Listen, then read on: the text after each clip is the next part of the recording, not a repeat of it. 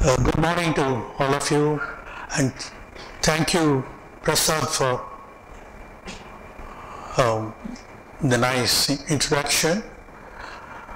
Well, um, you mentioned that I was asked to give this talk today for the younger people, but earlier I was under the impression that I was supposed to talk on Harishchandra's work to a public audience on the afternoon of 11th for the public function.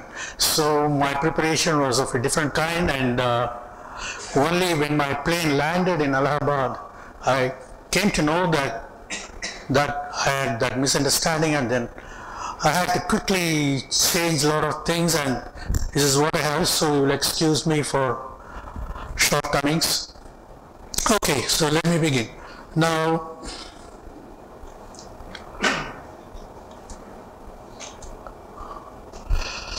his last physics paper is entering the twilight zone in 1948 and first mathematical paper in Lie theory in 1949 heralding the dawn of an era of algebraization of representation theory, Harishchandra underlined the fruitfulness of the universal enveloping algebra. This led him to his 1951 paper in the transactions of AMS. It contains results of lasting importance.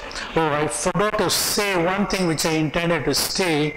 Yesterday evening I was looking at the, the new posters here and I think my talk should begin and end with a quotation from Langlands that uh, it is difficult to communicate the ground of Harishchandra's achievements and I'm not trying to do so. I should repeat it at the end of the talk too. So this 1951 paper in the transactions of AMS contains results of lasting importance, including a general construction of a semi-simple Lie algebra from first principles without any case-by-case computations. Let me stand there and see whether I can talk from here. Only thing is the remote should work from here.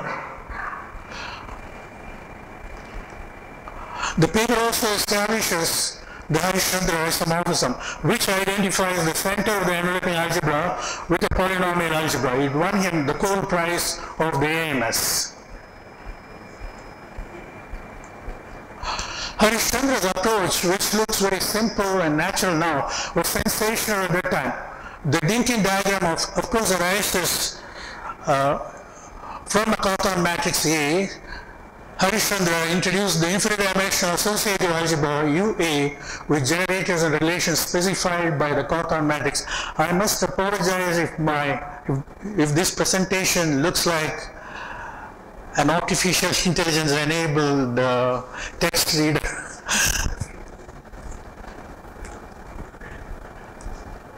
It turned out actually from Harishchandra's analysis that the Lie algebra LA inside U is generated by the basic elements has a unique finite dimensional quotient semi-simple Lie algebra L that was also noted by Chevalley.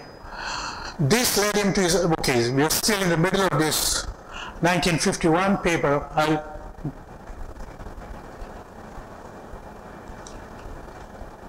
Oh, what happened here?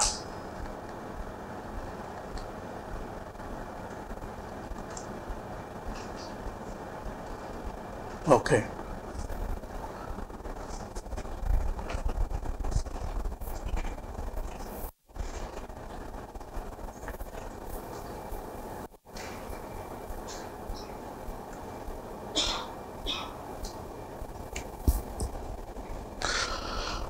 So in this in this paper, Harishchandra, that audio icon was supposed to say that some part of some part of my text is already recorded, but some part I'm just reading. So in this paper, Harishchandra considered um, the so-called Harishchandra modules for but he considered it for a complex semi-simple algebra regarded as a real semi-simple Lie algebra. Of course, the Maximal compact is a compact form, and he was able to prove, he proved finiteness theorems that he, uh, which he later, I mean, these results he later generalized to arbitrary semi-simple Lie algebras and uh, real semi-simple Lie algebras and so that has become a topic of great interest. And last week in the uh, workshop, there were elaborate discussions on those.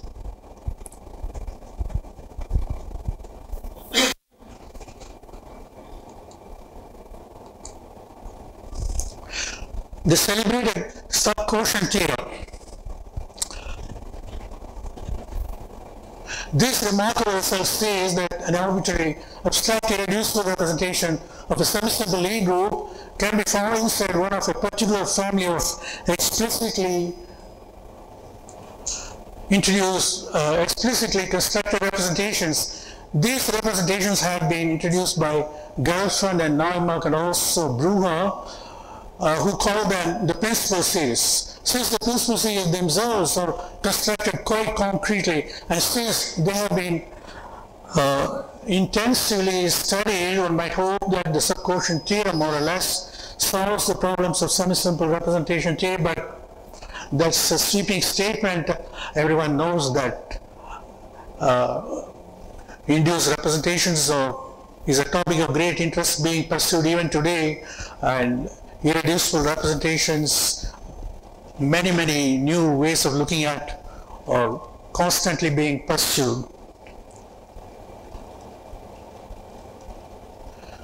Some of the most important advances in the subject following Harishchandra have amounted to improvements in understanding the structure of principal series, in particular in 1974, R.P. Refined later work of Harishchandra to give what is in some sense the classification of irreducible representations in terms of how they sit inside principal series representations. Well, you should not, don't worry if, don't pay much attention to uh, this slide. I'll show you a more professional slide immediately now.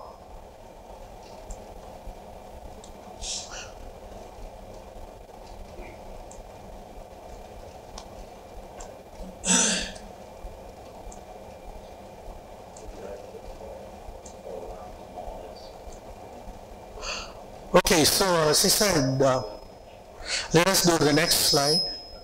But also, I, I don't think. So this this is taken from a paper for, of uh, David Vogan and Birgit Speh. I'm glad to see both of them in the audience here.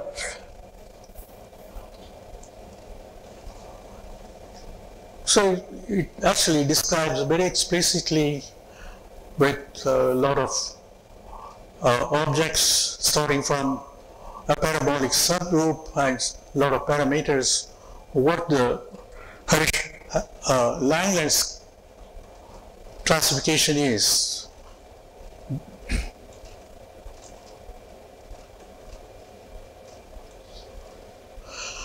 When Harishchandra was convinced that algebraic methods can reveal no more, he He took control with analytic methods. The center of the enveloping algebra gave rise to differential operators on orbit spaces of reductive subgroups or subalgebras of equal rank. He exploited them to study invariant eigendistributions and orbital integral. Okay, I think again I'm missing some the audio which is here.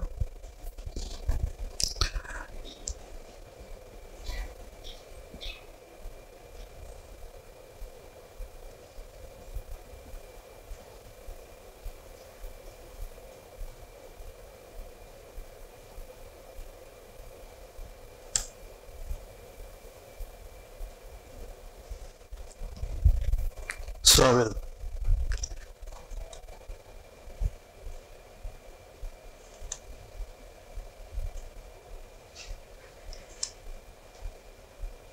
I think the audio is not working in this. Then maybe I can. No, the, those audio icons, I don't know why they are not working. Let me see. I don't want.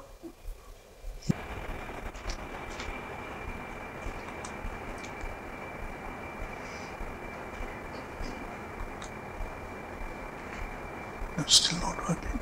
Doesn't I will switch to the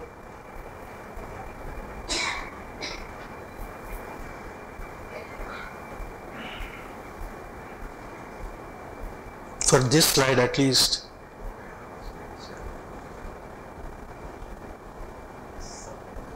No, there's, I don't think there's any connection through audio here. Is it possible? Okay, so let me go to the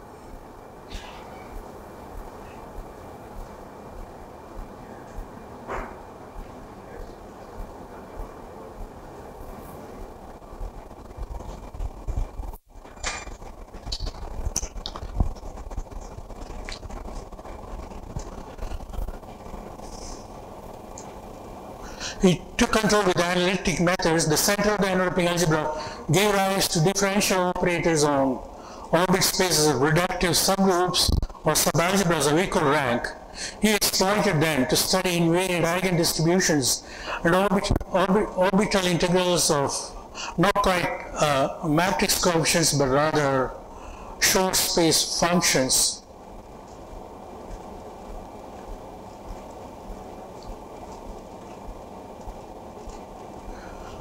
So let me give you a, a brief idea of what is uh, uh, distribution character for a representation. So pi here is a simple representation of G in a Hilbert space. That means that pi is topologically irreducible and has an infinitesimal character.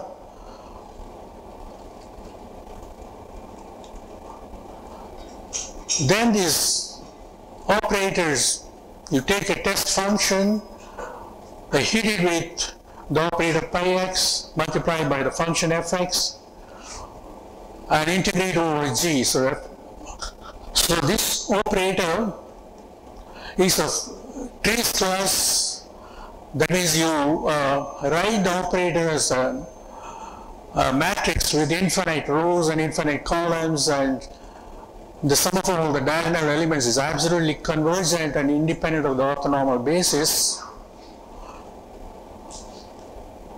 This linear map uh, setting f to trace of pi f is a distribution in the sense of Schwartz. Harishchandra called it the distribution character of pi to distinguish it from the infinitesimal character and showed that it is invariant under inner automorphisms and that it determines pi up to equivalence when pi is unitary. Moreover, it satisfies the differential equations.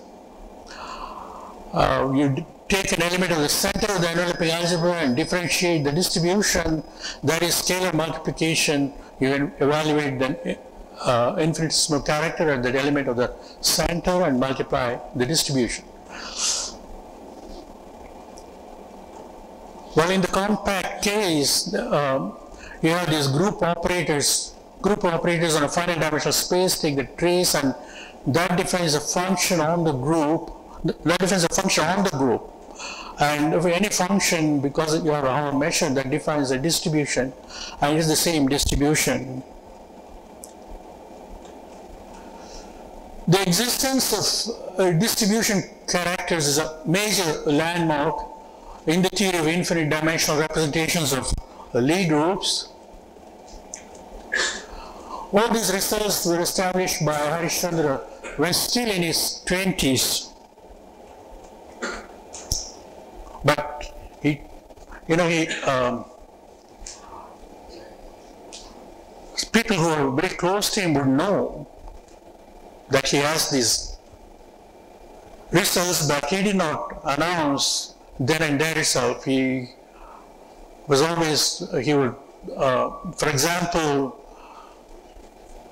the regularity theorem. He announced the regularity theorem only in the early 60s when he visited France. Well, in fact, he had the proof of the regularity theorem even by around 1958. Well, Harish Chandra tells V.S. Varadarajan in private conversation, at no time was there any doubt in my mind regarding the course I had started for myself. My conviction that only by looking at all real semi-simple groups can one discover basic phenomena was never shaken. The idea was to view the characters as invariant eigendistributions on G and use the differential equations they satisfy on G. Recall here that invariant eigendistributions on G or distributions T on G such that T is invariant under inner automorphism coming from G. There exists a homomorphism chi of the center of the enveloping algebra of G into the complex numbers, that is the algebra of complex numbers, such that when you um, differentiate the distribution by an element of the center, you get scalar multiplication. If T is the distribution character of an irreducible unitary representation of G, then chi is the infinitesimal character of the representation. He proved the famous regularity theorem of characters which asserts that T is ft dx where ft is a locally summable function on G which is analytic on the dense set of regular elements of G. Well, that statement can combines three statements. Is given an G invariant analytic function on a dense open set. The function ft on the dense open set is in fact locally summable on all of G, thus giving rise to distribution. This distribution Ft is in fact T.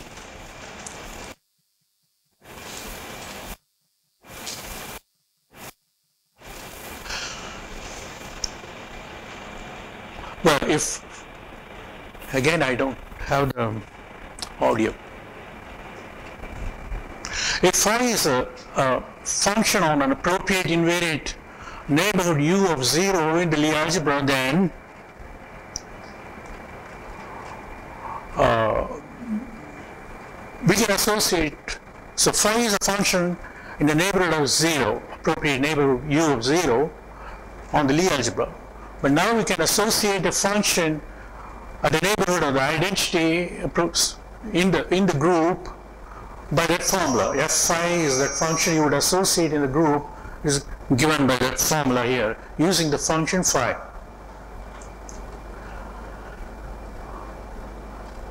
But this, there is a dual map which takes invariant eigendis, invariant distributions on G to invariant distributions on U. So invariant distributions on the group to invariant distributions in a neighborhood of 0 in the Lie algebra. T going to tau T. For proving the regularity theorem that the character distribution is an analytic function on a dense invariant open set, Harish Chandra takes the above mentioned approach in a wider context often referred to as the method of descent.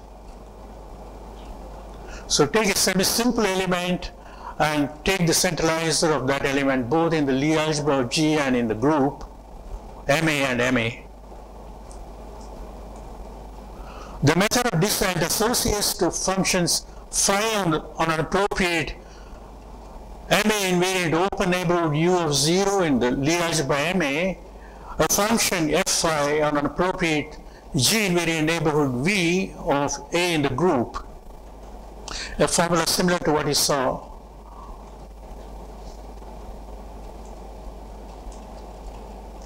Once the regularity theorem was established, one could formulate the problem of explicit construction of the discrete series characters. I think without this audio playing, my lecture would end very soon. There are uh, two ingredients to this problem. The first is a specification of the character on the regular subset of the compact Cartan subgroup. This is the condition one. That's you'll see the condition in the next slide. This is the condition D1, condition one. And the second ingredient is the continuation of this formula to other Cartan subgroups to yield an invariant eigendistribution that is the appropriate behavior at infinity on the group and that is condition 2 which formulates that behavior. See it's, uh, it's not reasonable to expect that if you specify the formula on it, we assume that for these characters, we assume that the group has a compact Cartan. So it is not reasonable to expect that if you know the formula on the compact Cartan, the group is a non-compact group, so there will be other non-compact Cartan subgroups. So if you know the formula on the compact Cartan, there is no reason to expect that you will be able to immediately see what it is on the non-compact Cartan subgroups. So Harishchandra imposes this growth condition too, which later on, you know, it is called the condition of being tempered. Of course, it's also an invariant eigendistribution.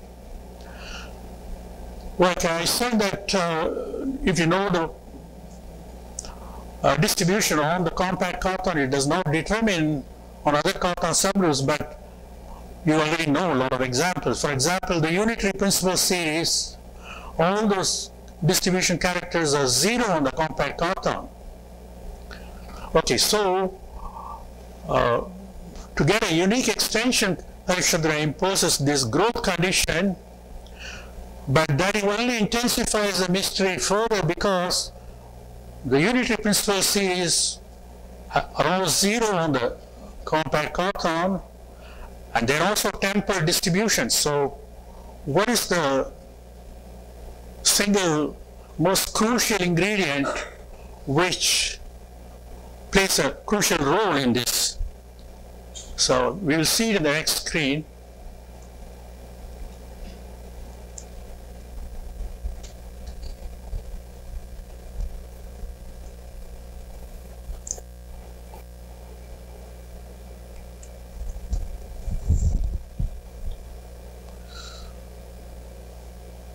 There is an audio screen here which is not letting the mouse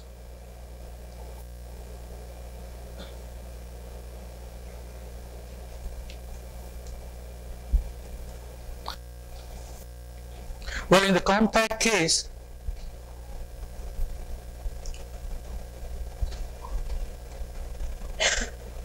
every no no don't bother please don't bother it's okay because that audio screen comes to it's uh, only when I turn it off it, I'm able to use the mouse here. In the compact case, every element is conjugate to an element in the maximal torus, so your continuation is no problem there. And that's what Hermann Weyl's character formula does. Uh, it explains, I mean, it gives you the distribution. I don't know whether you can see, so it's not clear. It says it's not clear how to extend to other Cartan subgroups. It's very pale here. what happened?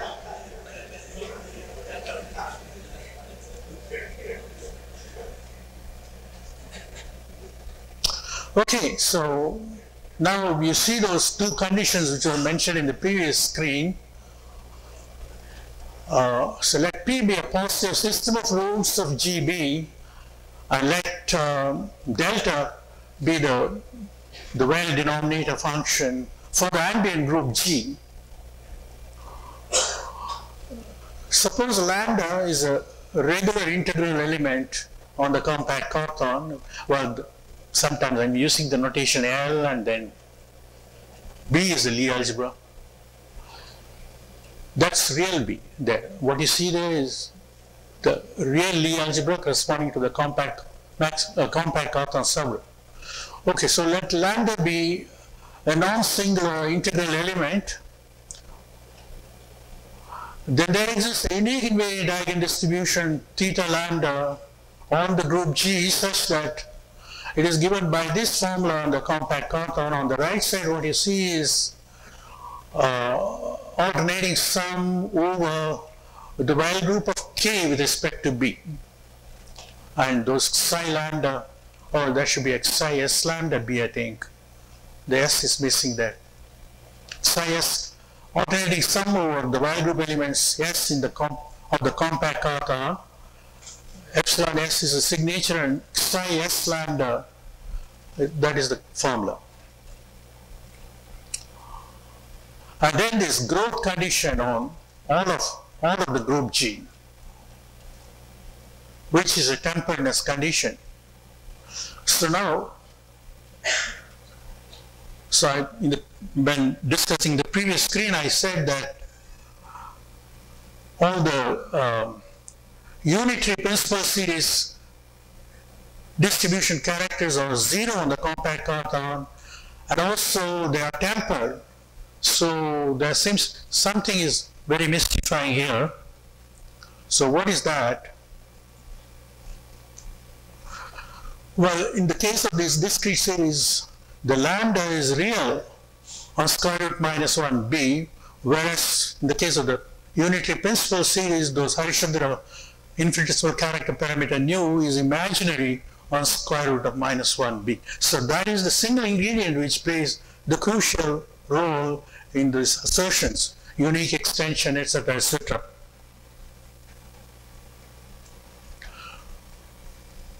So the theorem 1 here is purely a theorem about distributions. It doesn't say anything about uh, representations yet. So given a lambda, uh, there exists an invariant eigendistribution with such and such properties. That's all it says. But the theorem which you see below is a complement to that theorem. For each lambda, the same lambda is thought with in theorem 1, uh, there exists a discrete series representation, irreducible, that is, uh, well, something is called a discrete series if the matrix coefficients are irreducible, uh, matrix coefficients are square integrable. And the representation is of course unitary and irreducible. So there exists a uh, uh, discrete class such that the distribution character of that discrete class is given by the Harishchandra distribution in the theorem 1, except for some, you have to be careful about this sign. Initially, Harishchandra did not even expect only in the only late in the second discrete series paper in the ACTA in 1963, he was surprised that is actually a single theta lambda. He expected that it will, discrete series characters will have distribution characters which are linear combinations of the theta lambda for the various lambda in the W, the ambient Weyl group orbit. So and every discrete class is of this form, omega lambda, for some lambda and omega lambda 1 is isomorphic to omega lambda 2 if and only if the lambda 1 and lambda 2 are in the same WB orbit. Oh, yeah, same WB orbit. Any questions?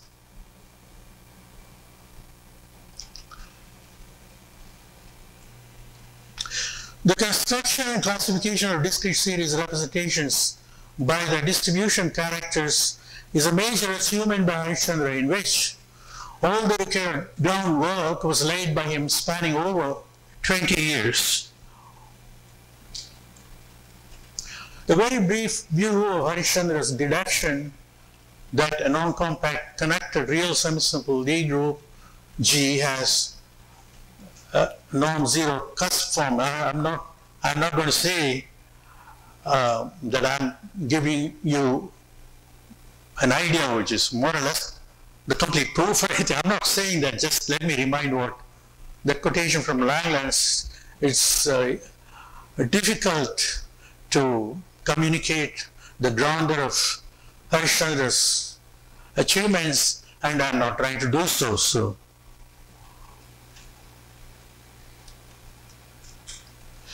So G has a non-zero cusp form, if you will precisely see what that means if and only if G has a compact Cartan subgroup,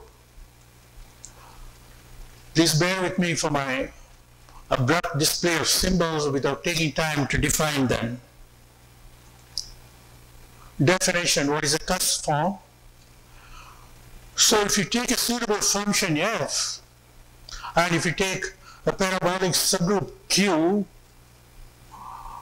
uh, you integrate the function on coset spaces of the unipotent radical of that parabolic subgroup. Well, there is, okay, there is also a, a normalization there. Here, uh, Q is the parabolic subgroup, and it has a Langlands decomposition Q equal to NC N1. So NC is the Levi part and N1 is the unipotent radical. So if all these integrals for all proper parabolics are zero for every coset of the unipotent radical for every proper parabolic subgroup, if these are zero, then you say that F is a cusp form. But even when it's not zero, even when it is not a cusp form, you still have a nice function on the Levi part by this integration. Orbital integral, uh, again, take a suitable function, for example, function with compact support, or you can take functions in the Schwartz space, Schwartz space of rapidly decreasing functions. The definition of rapidly decreasing function itself is very, very uh, delicate. You have to choose, have to choose the correct functions to define which so that it will be a very useful concept. So orbital integral, you restrict the function to the orbit of a semi-simple element and integrate, and there is a normalization. Averaging over k, suppose you take a function, then um, do the adjoint action by elements of the comp maximal compact k and average by integrating over k. So that is the average over case. So the last screen I said that f is a cusp form if all those integrals are zero, but when you um, conjugate a, a, a cusp form using uh, inner conjugation by any element of the group, not necessarily maximal compact, that is again going to be a cusp form, so this averaging will be a cusp form if f is a cusp form, but we are not looking at cusp forms right now.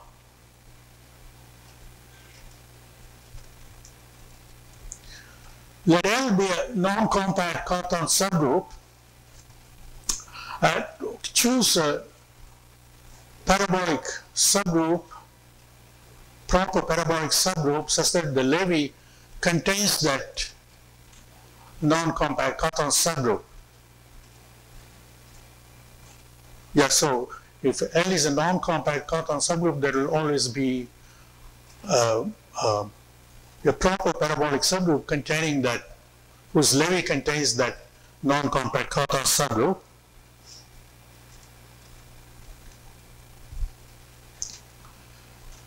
So there is, Harishchandra has this beautiful relationship between Okay, on the left side, you have the orbital integral on the group G. On the right side, what you see is an orbital integral for the Levi group. So he has this nice function here, nice relationship. Uh, this has a uh, this has a um, an implication, uh, so to say, corollary.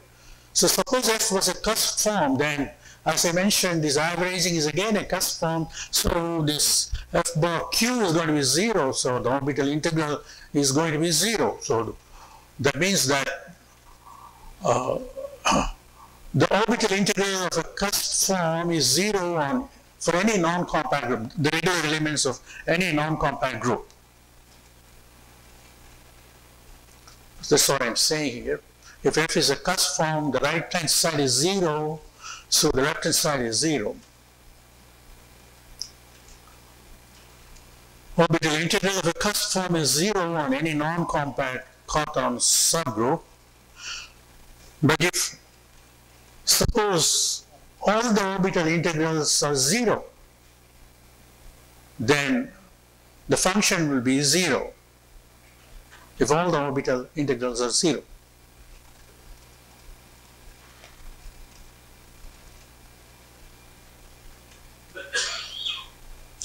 still one part of this statement that there are non-zero forms even only if there is a compact Cartan subgroup. So one way is proved now if there are if there is uh, if there is a non-zero cusp form then G has a compact Cartan subgroup that is proved. For the other implication A K finite, Z finite tempered function is a cusp form. I mean, these are difficult to prove, but a K finite, Z finite tempered function is a cusp form. But to prove this, Harishchandra introduces the notion of the constant term of uh, a tempered function, so matrix, uh, uh, a tempered function which is tau spherical with values in a finite dimensional vector space on which the group compact group K has two actions, both of which commute, one on the left and the other on the right. So he introduces the notion of constant term and um, when it the constant term is going to be some function on, again, a similar function on the uh, Levi, but we would not know that this, uh, the constant terms on the Levi or anything, we do not know much about that. If you can say, for example, that the k finite, z finite tempered function actually belongs to the Schwartz space that's uh, that will immediately tell you that it is a cusp form. Immediately meaning in the sense Harishchandra proves is a cusp form, but even the introduction of even with the introduction of the constant term, oh, you still there is still a lot of analysis needed to conclude that it's a cusp form. Okay, so how do you get a k finite, z finite tempered function? Okay, you when the group has compact and we are trying to prove that there are non-zero cusp forms, you start with any one of these Harishchandra's distributions theta lambda which is an invariant eigendistribution given by a specific formula on the compact Cartan, which has uh, tempered growth. So if you take a k-Fourier component of these characters, they will be k-finite, z-finite, tempered, and so there, there will be cusp forms, but if the cusp forms exist, we already know that no, there will be cusp forms. So we wanted to prove that if G is a compact Cartan subgroup, there are non-zero cusp forms. Okay, so, oh, this is, I don't know where it is. I wanted to, but my lecture really should have ended in that screen, but because the audio didn't work in those few places, the audio recording. I still have a few minutes, so I just I prepared this just in case I have some, some extra time. One of the things that Harishchandra proves is, okay, so if you take a cusp form on all the non-compact Cartan subgroups, the orbital integrals are zero, but he proves that the orbital integral on a compact torus is actually extends as a smooth function to all of the compact Cartan subgroup. You will only it will be only smooth initially on the set of regular elements, but he shows that it actually extends as a smooth function to all of the compact Cartan subgroup. The equation you see there, uh, that is, um, that tells that there are two, there are two Cartan subgroups. One is L and the other is L1. The, the compact part of L is more and the, com, uh, the non-compact part of L1 is less compared to L. So just think of the case where if in the in the Lie algebra level, these two Cartan sub, subgroups are Lie algebras where if you if you do the compact plus vector part for those Lie algebras, the compact part for one of them will be of codimension one in the compact part of the other one, and the vector part of the other one will be of codimension one in the compact part of the first one. So he, he considers two such uh, Cartan subgroups. There is also an SL2, and when you, right, yeah, there is an SL2, and when you intersect one of the Cartan subgroups with the SL2, you get the circle group, and when you intersect the other Cartan with the SL2, you get the the the vector group, vector Cartan group, the non-compact Cartan group of SL2. And the intersection of the the intersection of the two the intersection of the L and L1 is this is in the center of there are two um, well there is a three yeah said there is a three dimensional SL2 sitting there and you take the Lie algebra of SL2 plus Lie algebra of L, that is a reductive subalgebra. Similarly, take the uh, Lie algebra of the SL2 plus the Lie algebra of L1, that is again a reductive subalgebra. The center of this reductive subalgebra is the intersection of the two Cartan subalgebras. so that is the way everything is. So this equation which you see there on one of them, where uh, the compact part is more, so there could, if you try to extend to uh, smoothly to over those over single over a single point, it's only you know it's smooth on the regular set, but if you try to extend it, you can only talk of the left derivative. That is what it is written there, the left derivative and the right derivative there. But he shows that this difference of the left derivative and right derivative is related to the derivative, the, you know, the, these leaves, these L and L1 are so chosen that there is no singularity when you try to uh, extend smoothly using the other Cartan subgroup, you know, for this particular choice, and he shows that this equation. In the other one, there is uh, uh, the extend the extension is possible without any singularity in the other one for that for those points coming from the intersection with SL2. So he, can, he will conclude that the right side, so because the right side is zero, yeah, if the right side is zero, suppose the right side is zero, for example, that happens for uh, cusp forms. We saw, just, just now saw that for a cusp form, all the orbital integrals on any non-compact Cartan subgroup is zero. So the left derivative and right derivative coincide, therefore we can do smooth extension.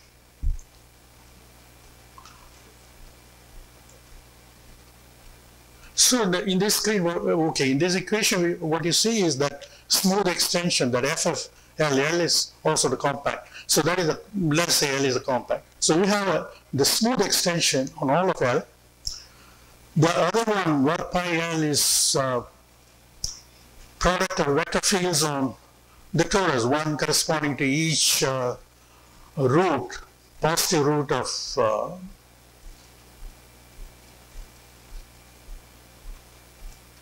yeah, every every positive. If you take a root and take the corresponding co-root, that gives rise to a vector field on the compact torus, take the product of all those co-roots coming from all the positive roots, that is the differential operator on the torus over pi. So there is the, you you have seen this kind of this formula or this type of formula for the compact in the case of compact group what Hermann Weyl the way Hermann Weyl went to prove his integration formula his famous Hermann Weyl integration formula and then Hermann Weyl's character formula it goes through this step also. Uh, so Harishchandra also gets the same equation for the non-compact case.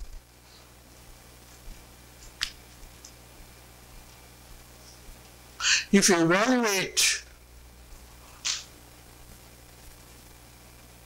the distribution character theta lambda on a Schwartz space function f, you get that, uh, okay, so all the smooth extension was well, for a cusp form, I said smooth extension for a cusp form, but this form right here, the distribution evaluated on a Schwartz space function uh, is equal to the Fourier transform on the on the uh, torus. So remember that formula.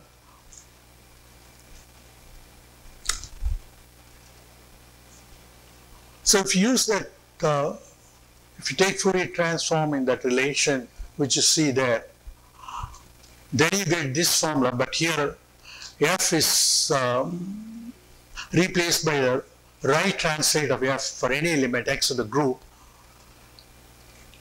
Well, uh, this theta lambda here, this theta lambda, don't think of it as theta lambda applied to that function, but rather think of it as that Fourier transform itself. Well, then this formula is just uh, yeah, that's, that is the intermediate step. That is the step which you get when you apply Fourier transform. Okay? But here the summation is only over uh, regular elements because the summation is only over regular elements because this uh, you know this this this pi is unfortunately it looks the same that one is a differential operator whereas this one is, uh, is a polynomial on the Cartan subalgebra, product of all the co-roots, that's a polynomial here. So that is going to be uh, zero on if if a lambda is singular. So here you have only summation over regular elements. So this that's why you get uh, you know discrete series only for only for uh, regular elements. Oh, shouldn't be there. Anyway, so some major contributions by Harishchandra, uh, some major contributions by Harishchandra may be singled out. Uh, this is this is uh, I found this in reading a, an article by Armand Borel. So the explicit determination of the Plancherel measure for semi-simple groups the determination of the discrete series representations, his results on Eisenstein series, and in the theory of automorphic forms, his philosophy of cusp forms, as he called it, as a guiding principle to have a common view of certain phenomena in the representation theory of reductive groups in a rather broad sense, including not only the real groups, but p-adic groups or groups over adele rings. His scientific work being a synthesis of analysis algebra and geometry is still of lasting influence, that is Armand Borel. But I said that my talk should begin and end with this remark of Langlands, so it's difficult to communicate the grandeur and I have not attempted to do so. Okay, so thank you for that.